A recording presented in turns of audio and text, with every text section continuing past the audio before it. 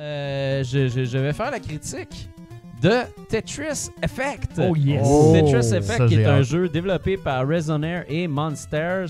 Euh, Monsters, puis publié par Enhance Games. C'est disponible Ça, sur c'est- PS4. Monsters comme les méchants dans. NBA Jam. Pareil. We're the Monsters. C'est vrai. vrai, Caroline, hein, ben oui. ça. Wow. Euh, c'est ça, fait que PS4 est aussi, euh, aussi disponible PSVR. En fait, il est, il est- il est compatible. Euh, donc, c'est ça. Tetris Effect, ce que c'est, en fait, c'est qu'on a essayé de réinventer, raviver la flamme de Tetris. Tetris qui est comme une vieille formule qui a eu euh, une tonne de, une tonne de, de, de- De version. de versions. Merci beaucoup. Et de dérivés. Euh, c'est ça, de dérivés. Euh, puis c'est ça, en fait, euh, ce qu'on a voulu faire, c'est que c'est le, c'est le créateur de Lumines et Rez qui est allé travailler là-dessus. Ah ouais. Donc lui, on lui a dit, hey, s'il te plaît, viens travailler sur Tetris. On veut voir c'est quoi ta vision, toi. Puis c'est tout le temps euh, quelqu'un qui utilise la musique et le visuel, non pas comme support, mais comme, comme, comme mécanique de jeu, si on pourrait dire, en fait. C'est que c'est vraiment bien mélangé au jeu.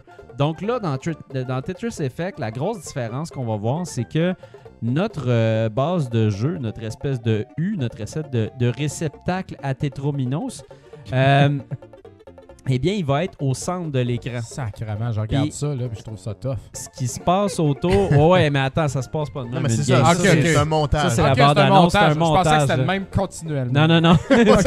Attends, attends, attends, ça change sans arrêt. C'est un test d'épilepsie, en C'est fait. ça, c'est combien de stages tu vas Beaucoup de morts. C'est juste ça, ça, ça communique avec le gouvernement à 10 secondes après ta première partie. C'est Polybius confirmed. exactement.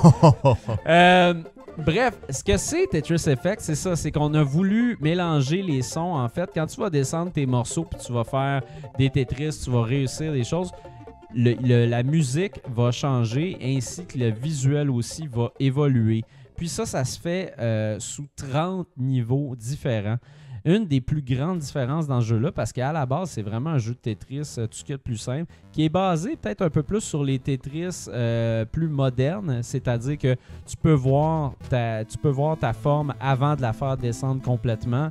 Euh, puis aussi, tu peux faire un hold, qui est à dire retenir une pièce sur le côté. Ça, c'est pas disponible dans tous les Tetris, donc dans celui-là, c'est disponible.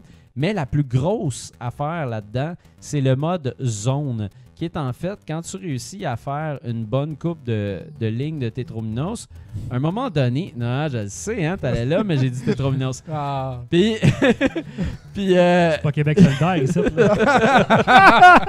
wow! Damn! Colin. Ah. That Ok. escalated On peut plus quickly. parler. On fait des jokes Ouais, c'est d'actualité à cette heure. SUV, tout le kit. Mais en fait, ce que, ce que ça fait, c'est que le, on va monter comme ça une espèce de petite jauge d'énergie. Puis, une fois qu'elle va être remplie, on va pouvoir arrêter le temps. Comme on voit un peu à l'écran présentement, tu peux ralentir le temps. Ah Puis ouais. quand tu ralentis le temps, t'as le- T'as vraiment. Ben, c'est, c'est pas ça qui se passe à l'écran en passant, je me suis trompé. L'écran devient comme tout blanc, puis là, ça ralentit le temps, puis toi, t'as le temps d'en mettre, d'en mettre, d'en mettre, d'en mettre, d'en mettre, puis finir Ça, c'est par cool. faire des suites. Fait que ça veut dire que tu peux ont faire plus sens. que 4 Tu peux te lignes. à 16 si je me souviens bien. Exact, c'est Wow. ça. Puis euh, j'ai mis un, un reportage, entre autres, que vous pouvez aller voir sur la, la page Facebook de Rétro Nouveau, où il y a un des meilleurs joueurs de Tetris au monde qui a joué à Tetris Effect. Puis il fait un DK, DK Exominos ou une affaire de même. Ça, c'est euh, 16 lignes, je pense. Euh, fait que c'est ça. Il a réussi à faire ça avec euh, ce, ce mode-là, ça, zone. c'est pas- ça serait pas 26, pas 10 plus Ouais, 16, non, non, c'est pas ça. Mais en tout cas, je, Ouais. je me trompe dans le Ah, terme. c'est vraiment 16 par exemple. mais c'est c'est 16. C'est deux Exact. Tetris. Ah non, c'est quatre Tetris. 4 Ouais, Tetris, quatre c'est le- le- Ah. Euh, c'est ça. Bref, là- là-dedans, en fait, est-ce que la musique puis les visuels ajoutent vraiment quelque chose? Je vous dirais que si vous jouez en, en 4K ou vous jouez euh, sur votre PS4 normal, c'est très joli, mais c'est pas comme ça qu'il faut jouer à Tetris Effect. Vraiment, ce jeu-là prend tout son sens quand on joue en VR. Ah, ouais, ouais, ouais. Ça n'a aucun sens comment ça prend tout son sens parce qu'en fait, c'est- c'est c'est un des seuls jeux euh, qui existe euh, de- depuis des années qui me fait complètement décrocher de tout ce qui existe dans le monde. C'est vraiment. Parfait. Tu mets ça Ça là. tue le désespoir. C'est la, bulle que le VR t'amène d'être Oui. complètement coupé tout le reste. T'as, Ah, juste ça ton, ta doit, là. plateforme de, de Tetris devant toi. Puis la musique, les sound effects sont tellement bien faits puis intégrés que Ouais. C'est tellement immersif. Je sais pas comment le décrire autrement que Ben, ça. ça a l'air d'un cocon d'isolation. Complètement. C'est que t'es vraiment t'es dans un univers, puis en même temps, t'es tellement concentré sur ce que t'es en train de faire que le côté zen qui vient souvent avec Tetris, malgré certaines passes qui sont vraiment intenses, il est là. Tu sais, c'est- comme. très trippy, en tout cas. C'est ouais, c'est très trippy. Ah ouais. les, les, euh, hein. Ce qui est, tout ce qui est là à l'écran, euh, dans le fond, tu a l'air vraiment comme trop intense quand on le regarde comme ça dans un écran. Mais quand t'es, euh, quand t'as ton casque VR sur la tête, tout ça change en fait. C'est comme tu fais partie d'un univers. Ça, c'est vraiment, vraiment intéressant. C'est le genre d'affaire que Jean-François se tue à expliquer depuis euh, un an, même plus. Que tu croyais pas avant. Non, mais je, je veux dire, c'est très difficile d'expliquer le VR c'est pour vrai. ouais. C'est vraiment difficile parce que c'est vrai que tu, tu le sais pas tant que tu l'as pas essayé. Tu sais, tu peux pas sentir ça vraiment. tu sais. Puis ce jeu-là, moi, quand j'ai vu, c'est un jeu qui est, qui est quand même qui est 40 qui est 50 avec les taxes. tu sais. Puis je me disais, Colin, c'est donc bien cher pour un Tetris. Mais là, ce jeu-là, il y a 30 niveaux. Quand tu joues en VR, je dis, c'est une des meilleures affaires VR au monde. C'est vraiment, vraiment incroyable. Puis c'est ça, avec la musique qui est, mélangée, tout ça, puis aussi tous les modes qu'il y a dans le jeu, parce qu'il n'y a pas juste ce, mode-là où il y a les 30 niveaux, un après l'autre, il y a aussi euh, un mode genre puzzle, marathon, euh, les- tous les genres de petits, euh, de petits modes qu'il y a aussi dans, dans pas mal toutes les autres Tetris. Ça, c'est super intéressant. C'est un beau package. Ma seule grande déception de ce jeu-là, c'est qu'il n'y a pas de mode à deux. Puis je trouve Ah, que ça ouais, manque ça vraiment pu, beaucoup. hein? Ça aurait vraiment été Comme Tetris Attack. cool. Ouais, ben, comme Tetris Attack, mais en fait, ça aurait été le fun parce que tu sais, dernièrement, on a eu euh, Puyo Puyo Tetris, tu sais. Ouais.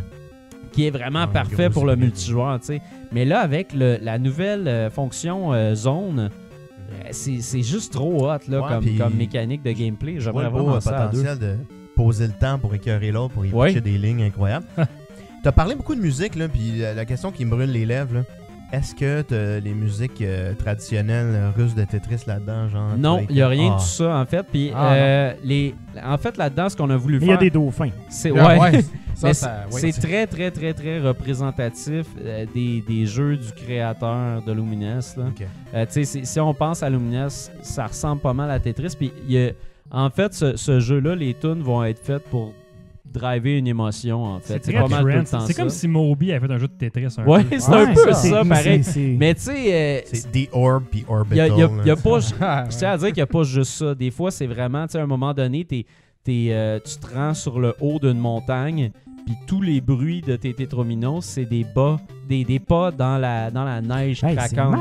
C'est vraiment Moi, celui qui m'a marqué le plus, moi, c'est un tableau de feu que tu as des gens en cercle Ouais. qui font un genre de rituel, puis à chaque fois que tu tournes tes blocs, ça leur fait faire un son dans le rituel. Fait que c'est Ouais. complètement pété de jouer à ça. Là. Oh, Moi, ce que ouais, je non, trouve- c'est c'est vraiment intense. Là. Moi, ce que je trouve débile, c'est.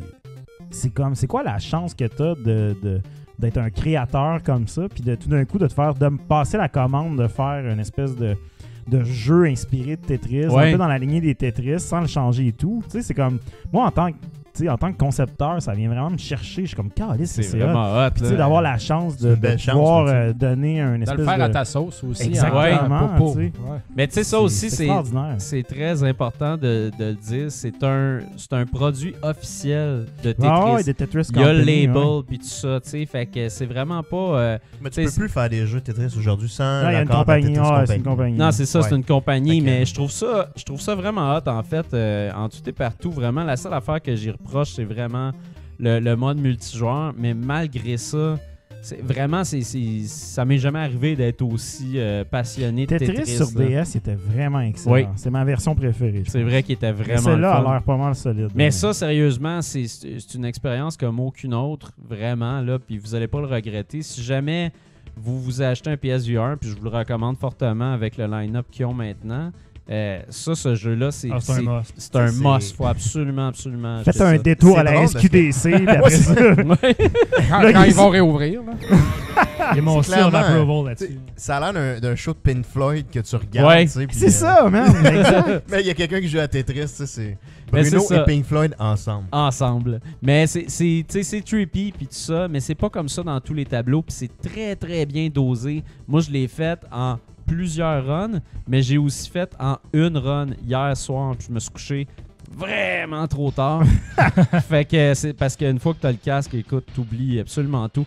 Bon, ça fait 10 minutes que j'en parle, je pourrais en parler pendant 30 minutes puis capoter, mais je vais arrêter ça là. Donc, Yes. pour toutes ces raisons, je lui donne un 9 sur 10.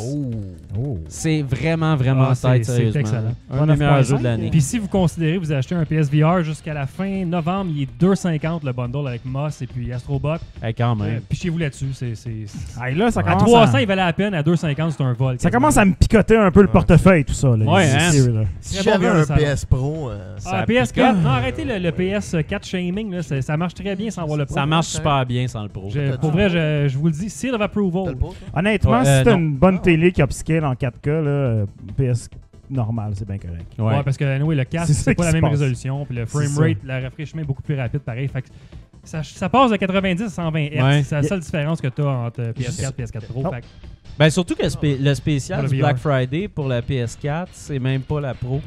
C'est la, la, la PS4 euh, 1 Slim. Tera. Ouais, c'est ça. That's it, Slim. Ah ouais. Fait que. faut- moi, je, je trouve que la, la Pro, sérieusement, c'est c'est un, Ben, on bel va attendre achat. Cyber Hey, Monday, euh, tabarnouche.